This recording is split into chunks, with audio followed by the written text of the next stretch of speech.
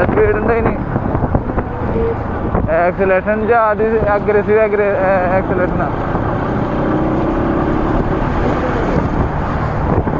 ਥੋੜਾ ਬਿੱਟ ਜਰਾ